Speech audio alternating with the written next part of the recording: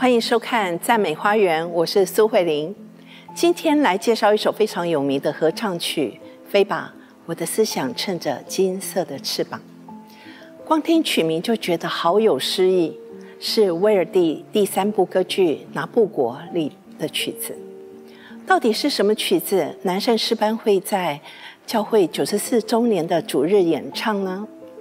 那我们先来认识一下这位作曲家，意大利作曲家威尔第。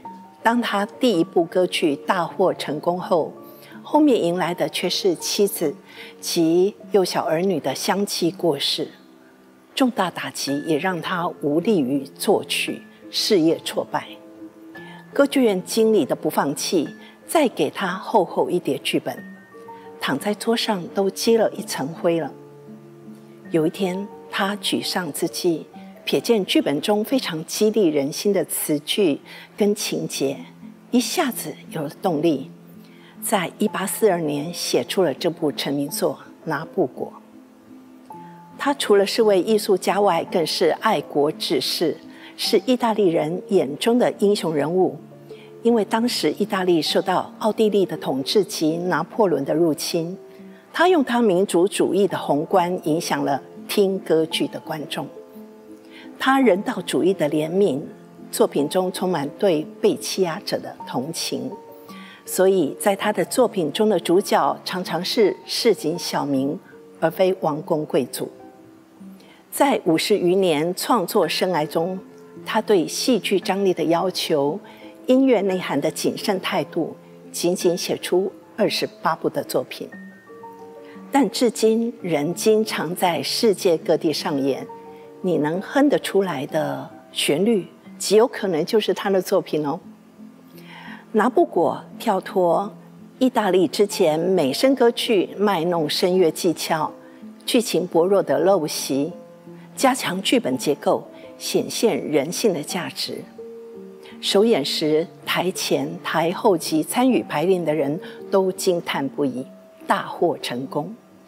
拿布果故事是改编自旧约圣经故事，歌剧设定是在公元前五百八十六年，拿布果就是我们熟悉的尼布贾尼撒王，他围攻耶路撒冷城，拆了围墙，毁了圣殿，犹大王国。这首选曲叙述百姓被掳到巴比伦成为奴隶，所以我们称为奴仆之歌。他们哀戚毫无生气地坐在巴比伦河边，想念家乡的风光、芬芳的空气，后悔失去，进而祈求耶和华的帮助，让他们再次复兴。旋律纯洁，娓娓道来思念，继而又激动而热情。合唱与乐团的对话之间，忧伤的流露与对未来的盼望。威尔蒂用音乐团结了意大利，这首《奴仆之歌》犹如爱国歌曲，他们朗朗上口，如今被誉为是第二国歌。接下来就来听教会的喜乐全员诗班及喜安管弦乐团演唱的这首《奴仆之歌》。第一段忠于原文，是用意大利文表达对以色列的思念；第二段是表现内心的悲痛。高牧师。